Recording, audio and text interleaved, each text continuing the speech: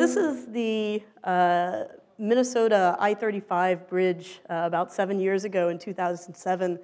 Uh, this bridge supported over 140,000 cars each day. Uh, when the bridge collapsed, there were over 150 casualties, including about 13 deaths. Uh, to avoid scenes like this, which are far, far more common uh, in the developing world, the current solution is to do something like this. Basically, hang a couple guys under a bridge with some lights, uh, looking at the bridge structure and joints and make sure, making sure everything is structurally sound. And honestly, you're probably lucky if this happens every couple years. In the developing world, you're lucky if it happens at all, I think. Um, so we'd like to come up with a better solution for that. Another thing that you see on TV way too often is so scenes like this. So this is the uh, aftermath of the New Zealand earthquake in 2011. Um, you see a bunch of guys searching through some rubble, trying to find survivors after this rather catastrophic earthquake. Uh, and you have even more catastrophic earthquakes like in Haiti and the like. Um, but there's enormous piles of rubble, and how do you get through them? How do you find survivors? Uh, we'd like to be able to create more scenes like this one, uh, where rescuers found a, a four-month-old baby uh, shortly after the Japanese tsunami. So what kind of infrastructure, what kind of platform can we use to help us solve both of these problems? Things like civil infrastructure monitoring and searching for survivors uh, after something like an earthquake. Um, I'm going to propose this guy. This is an ant, right? Or more, more appropriately, this guy right here. This is a robotic version of an ant that we're working on in my lab at the University of Maryland. So I'll talk a little bit more about this guy later, and, and I have it with me uh, in my bag if anybody would like to see it a little bit later as well. But these things can, be, can do some fascinating things, right? We have some amazing existence proofs in biology of what these insects can do, right? Ants can build bridges out of themselves for other ants. Really incredible stuff. You've all seen ants carry Cheerios or potato chips off of your picnic table, I'm sure, uh, much to your chagrin, right? Termites, which are very much on the same scale, build these incredible structures, up to eight meters high, effectively well-ventilated, air-conditioned apartment buildings for other termites, right? So impressive structures.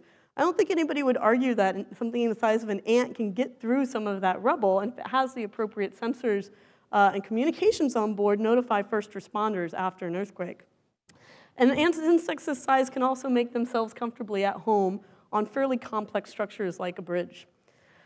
So what do we need to do in order to engineer this ant? What do we need to do to create an engineered robot ant? Or probably more appropriately, bunches of these robot ants. We can have buckets full of them. Right? So I'll briefly go through some of the big challenges that I see. So one is mobility. I'm really small, everything else around me is big. How do I get through that? I also need mechanisms and motors in order to support that mobility, and I need them to be robust and efficient in order to get through these things. I need the power, the control, the integration in order to add sensors, communication potentially, in order to be able to locomote and get through these environments. And perhaps even more importantly, in the end, I need group behavior. So I can do impressive things like this, which you've all seen probably. In this case, a bunch of ants found a tasty treat, a dead grasshopper. Uh, they're managing to uh, extricate it from these dead leaves and slowly move it toward their nest. And you can see this incredible locomotion through this rather rough terrain. Imagine your Roomba at home trying to do this kind of same thing, right? Horrible. Like it, it sees a step and it's like, ah. So we want to be able to do something like this. So I'm, for sake of time, I'm going to focus on a couple of these challenges. We're working on all of them in my lab, and I'm happy to talk a little bit more about some of the other ones as well. But I'll focus a little bit on mobility mechanisms and motors. So first, mobility. So this is another insect. You already saw the ants moving through these things. This is from across the bay at Bob Full's lab at UC Berkeley, watching cockroaches get through this incredible environment, right? If you and I tried to get through an environment like this, right, we're looking down, making sure our foot is stable before we take our next step. Cockroaches don't do any of this, right? The mechanisms in their leg provide the control and the stability so that they can run through these environments at high speeds right? And part of what allows them to do that is a combination of rigid materials, which is what we traditionally use to make robots, but also soft viscoelastic materials that give them the damping to enable them to do this. Right? Another interesting method of locomotion, if you're really small, is jumping. Right? And there's all sorts of uh, interesting jumping insects out there. Uh, in this case, they store energy in effectively a spring and release that very quickly to get the high power they need to jump. And then once again, it's a combination of rigid materials and soft materials that enable them to do things like jump out of water, which is quite impressive. So our big contribution has been to add soft materials to traditional microfabrication processes. So microfabrication allows us to get structures down to microns in size, right? Your hair is typically 50 to 100 microns in diameter for reference, right? And in this case, we can also take advantage of a lot of the sensors and actuators that people are already doing in silicon um, with our, our future micro robots. Right? So what we do to do this, uh, to incorporate these soft materials, is we effectively have a micro molding process. We etch trenches into our silicon wafer, we refill that with a rubber, a, a silicon elastomer, which is the blue here. Uh, we etch more trenches to create our silicon features. And we can do this across a whole silicon wafer, so we can make thousands of these at once, which is the cool thing. So you can make some interesting structures, but you ask, okay, so this is cool, but how do I get my robot? So this is an interesting little jumping mechanism that we put together. This video, this whole thing is about four millimeters on a side. Uh, this video is very freaky to any MEMS person or microfabrication person because you're not used to seeing strains like this in traditional micromachining materials. So the basic idea behind this is I'm going to uh, take this structure, four millimeters in size, compress it, and release that energy in order to get a jump. So there's no motors on this, no power yet. Um, this is actuated in a very fancy method we have in our lab called graduate student with tweezers. Um, so, so what we're going to see in the next video is a black fuzzy dot flying through the air. So this is a very small black fuzzy dot. This is Aaron, the graduate student in question. Uh, and what you see here is this little four millimeter device jumping almost 100 times its own length. Uh, but once again, no motors, no, no power or anything like that. But incredibly robust. It actually bounces on the table. Um, it survives over and over and over until we eventually lose it when it flies off the screen. So how are we going to actuate these things? Well, this is some of the, the motors that we're doing in our lab. Um, they have high power densities, higher than insect flight muscle, in fact, but they're still very hard to integrate with the, the mechanisms that I just showed you in order to really study locomotion at this scale. So we're going to cheat. We're going to put magnets in here right now, and this is controlled with an external magnetic field, but you can see I have this compliant elastomer joint, I've got a magnet embedded in there, and this is effectively a little robot leg. So this would be part of what I showed you earlier in this little uh, micro-robot mock-up. One of the interesting things about locomotion at this scale is we don't really know how to do it yet.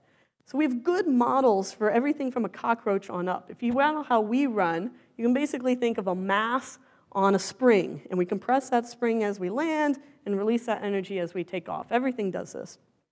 As you get smaller, the forces in interacting with the ground are going to start to affect your locomotion more potentially than your mass and your inertia, which is very tiny when you're this small. So this particular one uh, is not working quite yet, but we have ones at centimeter cube to show you what these things actually look like when they're moving around. So these guys we've moved at up to 10, 10 body lengths per second, so they can move quite quick, and that's really only limited by our test setup. So this gives you an idea of how the magnetic field is controlling these guys. So we can actually start studying how we ultimately want to locomote to solve some of these challenges. But ultimately, we want to add our sensors and control and everything on board too. So this guy is about four millimeters by four millimeters by seven millimeters in size, has capacitors for power, it has a transistor for control, and it has a light sensor on board, so it's going to react to light in its environment.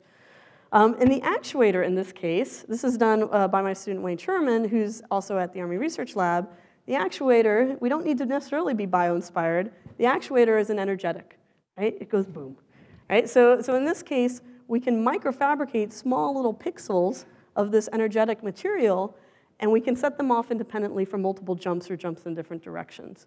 Right? And the cool thing about this is that we can actually uh, combine this then with our, our robot that I showed you earlier, put it on the belly of this, and we can effectively have our little micro rocket robot for jumping. Right? So the next video, one of my favorite videos, you see this thing uh, jump up, the big flash at the beginning. This is at 1,000 frames per second, and it flies through the air. So pretty, pretty cool, I think, at least.